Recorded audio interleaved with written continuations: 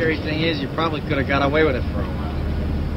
Hang back a little at the fires. Uh, you know the drill. The only problem is in this job, there's just no place to hide. It's not like having a bad day selling like cabins. You have a bad day here, somebody dies.